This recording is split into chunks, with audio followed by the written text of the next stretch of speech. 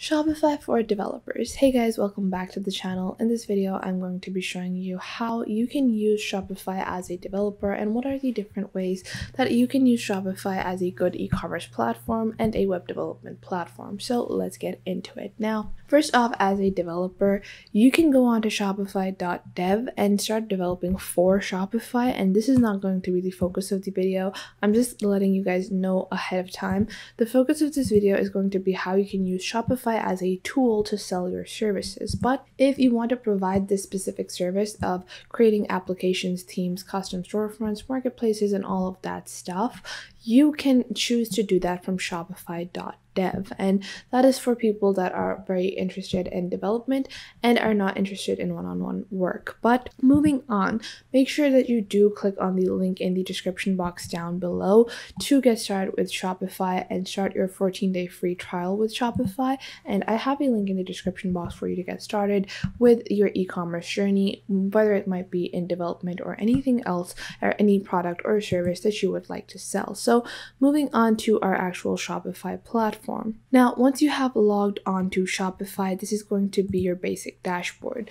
Now, to create your Shopify account, all you need is your email and a store name. And once you have done that, this is going to be your dashboard. On your left, you're going to find your entire navigation plane. Then you have your settings at the bottom. And then on your top right, you have your account. Now, as a developer, what I like to do is I like to create a website or a e-commerce front for people that want to work with me. So that is the basic purpose that I like to use Shopify for. And I find it to be very helpful when I have a storefront where people can already get good estimates of my pricings and of how I do work and how I carry, uh, how what kind of rates I have and what kind of work I'm doing, and to get a good portfolio of my web development skills. Now, for this, you can just keep it simple and start by designing your online store. So you're just going to click on online store over here and then I'm going to click on navigation over here on the bottom left and then you're going to change your menu. So I have my main menu and what I like to do is I'm just going to delete these filters that I have created already and I'm going to create my own menu sections.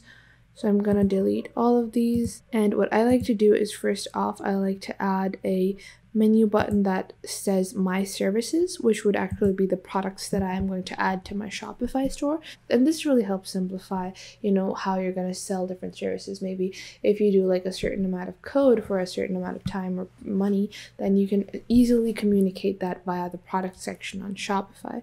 So we're just going to click on add menu item.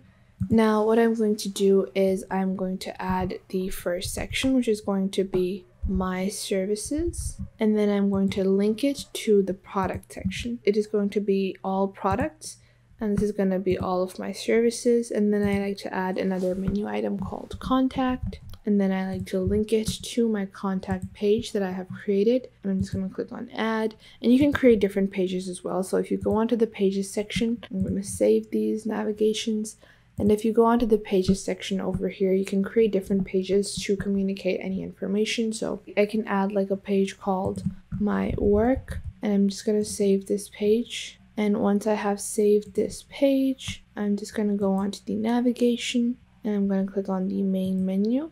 And maybe I want to illustrate my work to the people that are interested. So I can add a my work portfolio and I can just link the page that I just created called my work. It's gonna take a few seconds to appear over here, but I'm just gonna link the navigation menu item to the page that I created and obviously on that page you're gonna input all the information about your work. So my work portfolio and I'm just gonna link to pages and now you have my work my work and I'm just gonna add that over here. Now I'm just gonna save this navigation bar and now I can go onto the online store and I can just click on customize over here. If you're a web developer, obviously you can create your own store with HTML, but to save time, you can go the easy route and use a template. That is what I'm going to do. So first off, I'm just going to click on this and you can remove sections by clicking at the bottom left over here, but I'm just going to edit the text over here. And I'm just going to write Sarah's portfolio and I'm just gonna click on save and I'm gonna change the bottom text as well from over here. Over three years of exp and I'm just gonna go back Now this is going to be my basic homepage. Now at the top center, you're going to find on your website editor, you have your navigation panel where you can browse different sections of your website. So you can see I have my My Services section. So if I go over here, I have all of my products, which I haven't added yet, but you can see how it's going to look like. So I have contact, my work portfolio, Obviously, in your contact, you have the contact form where people can contact you. And then you have your work portfolio. And I added my work. I didn't add any specific work, I just added the empty page. But that's just to show you guys how you're going to do it when you guys are creating your own uh, store using Shopify. And make sure you use the link in the description when you create your own store for Shopify. Now, what I'm going to do is I'm going to change the name of this and I'm going to start adding my product. So I'm just going to click on save over here and I'm just gonna go back. I'm going to go on to the product section over here. And I'm going to click on add product. And you might be wondering okay I don't provide products. Well you provide services and you're going to add your services on the product. So what I'm going to do is I'm going to add like a website development. And then I can add a description about the work and add some media files as a sample. And then I can add the price so it could be $50 and then I can obviously this is not a physical product so I don't need to track quantity. And for shipping you're going to deselect this as well because this is not a shipping this is not a product that is uh, going to be shipped. So this is a feature that I find really helpful in Shopify because you can not only sell physical but also digital products. Now I'm just going to save this over here. And once I have saved that I have created my first product. Now, this is how you create a simple product. Now, obviously, you can add like application development, all of the services that you provide. And now I'm going to show you guys how you actually change the store name. So, what you're going to do is you're going to scroll down on the left, you're going to click on settings over here. You're going to go into store details, and you have your basic information, and you're going to edit that over here. And then you can change your store name to whatever it might be. So, it could be Sarah's Development studio and I'm just going to click on save over here. And now if I go onto my Shopify store, you can see over here, I have like a basic portfolio website up and running. If I click on my navigation over here, I can go onto the my services section like so. And right now my services haven't been added. So I'm just going to go into my online store and I'm just going to click on customize and I'm going to go onto my product section I'm just going to scroll down.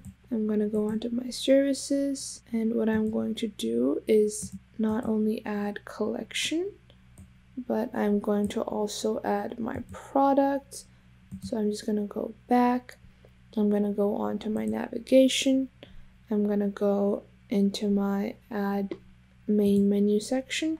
I'm going to edit my my services. So I'm just going to edit that into collection products and all products. I'm going to apply these changes. Now I'm going to go into my website and check it out. And this is how easy it is for you to create your own Shopify store.